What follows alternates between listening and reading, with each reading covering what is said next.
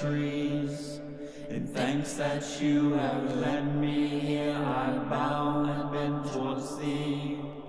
The voices blowing in my head are the stones, the earth and trees. In thanks that you have led me here, I bow and bend towards thee. Hey!